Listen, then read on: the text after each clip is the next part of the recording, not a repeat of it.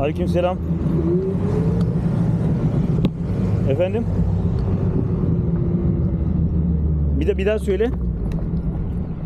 Bekir Turgay buyurun.